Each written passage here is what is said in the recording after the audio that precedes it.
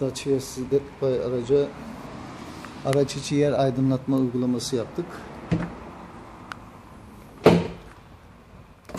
Beyaz led uygulama yaptık. Arka koltuklardan ayak altına aydınlatıyor.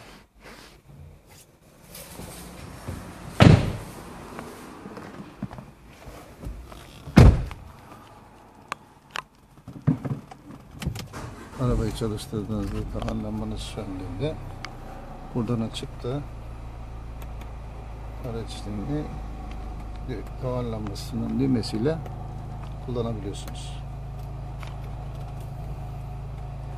Bir de top gözünün içine hediye bir led uygulaması yaptık. Gayet başarılı bir uygulama.